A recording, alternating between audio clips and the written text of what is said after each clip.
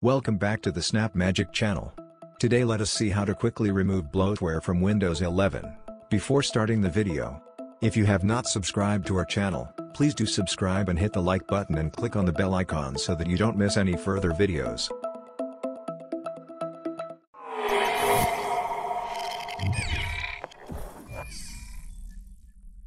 Open the given GitHub link from the description, which contains ThisIsWin11 public file.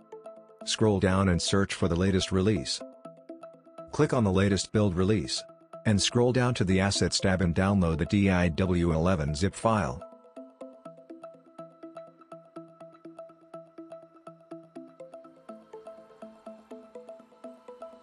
I already have downloaded the file, so we will not be downloading it again.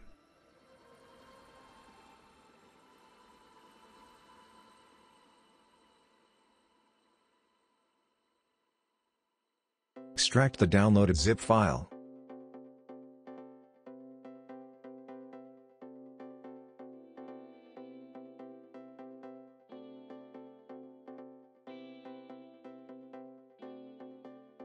Open the folder and run as administrator.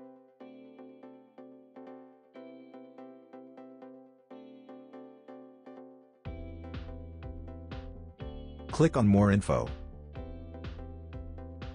And click button Run anyway.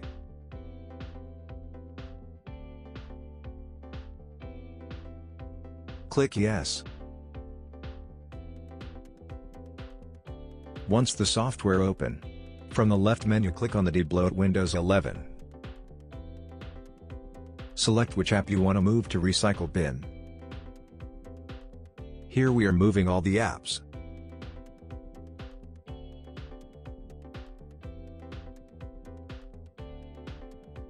If you want to restore any selected app, you can by just clicking Restore Selected. Here I have kept the more important apps, which I use day to day, so before emptying the app just have a look at all the apps, which is needed for you.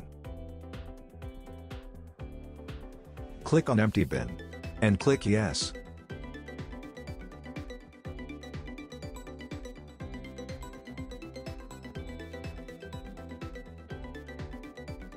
Wait until the uninstall is complete.